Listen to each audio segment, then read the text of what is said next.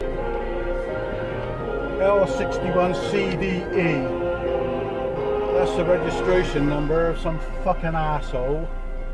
Some piece of shit. I wish I'd have had my camera. I knew I should have worn it today. I get in there, uh, and he's got to poke his fucking nose in.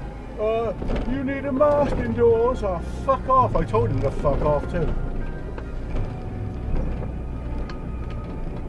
Fucking, I said, mind your fucking business. Keep your fucking snout yourself and fuck off. He never sent the dicky bird after that. I was ready to punch him out, fucking wanker. I fucking hate people like that. Mind everybody else's business but their own, a stinking little fucking rat.